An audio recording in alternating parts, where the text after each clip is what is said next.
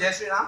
आज मैं आपके सामने पुनः उपस्थित हूँ आपको एक नया टॉपिक लेकर के, जिसका नाम है how to do effective study and how to clear the exams even if you have not studied in fully manner okay तो सबसे पहले मैं आपको बता दूँ कि यह आप पूरा वीडियो देखिए, ताकि आप इसको जान सकें कि हमने कितनी जानकारी दे रखी है इसमें।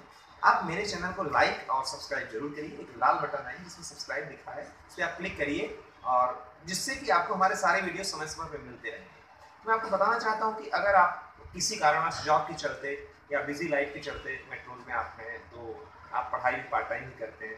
तो मैं आपको बताना चाहूँगा कि ये जो सरल तरीका मैं बता रहा हूँ इफ़ेक्टिव स्टडी का, ये आपका एग्ज़ाम क्लियर कर पाएँगे हाँ टॉप तो नहीं कर सकते हैं बट हाँ आप फेल नहीं होंगे एटी नहीं लगेगा।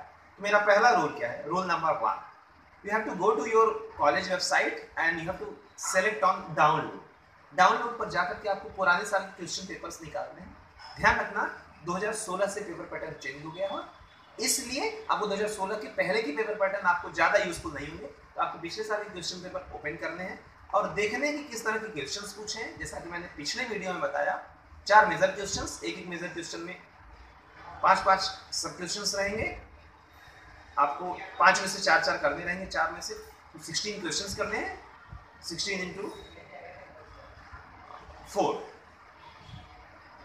पाँच पाँच पाँच बीस क्वेश्चन का रहेगा। आपको अस्सी मार्क्स के टोटल क्वेश्चन तो मैं आपको ये बताना चाहता हूँ डाउनलोड सेक्शन में जा करके point number one download section में जाना। पॉइंट नंबर वहाँ से पुराने ओल्ड पेपर्स निकालने पॉइंट नंबर थ्री आपको सारे क्वेश्चंस को या तो बुक में टिक करना है या तो नोटबुक में लिखना है। और फिर आपको उन सारे क्वेश्चन को ही जाकर के समराइज करना है, पढ़ना है, याद करना है। अगर आपको, उसको कोई समस्या आती है आप हमसे सीधा संपर्क कर सकते हैं या कमेंट बॉक्स में लिख सकते हैं। आप मेरे चैनल को ज़रूर लाइक और सब्सक्राइब करिए। जय श्री राम।